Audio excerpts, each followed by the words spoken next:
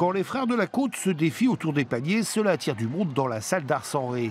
Certes, les deux clubs n'ont pas le même objectif en National 1. Là où La Rochelle vise les playoffs, l'île de Ré espère le maintien.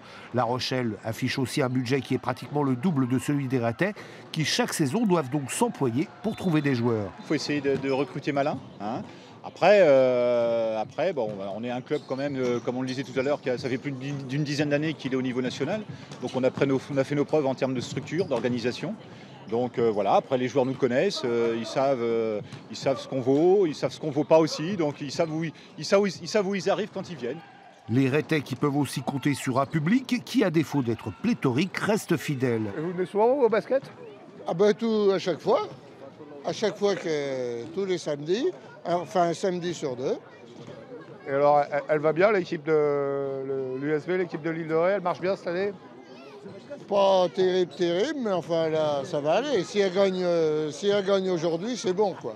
Et un public qui a vécu hier une folle soirée, comme seul le basket peut en offrir. En première période, Rupella assure, porté par l'adresse à trois points de son lituanien Nassius.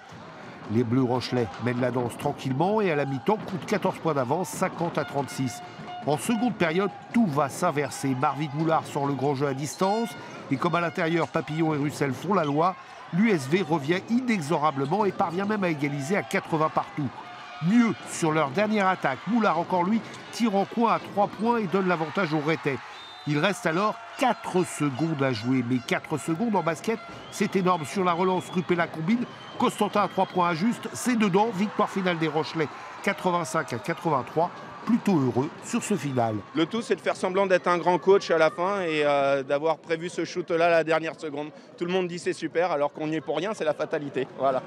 Les Rochelais exultent comme s'ils avaient gagné une finale de play-off. À derby, selon la formule, ça ne se joue pas, ça se gagne.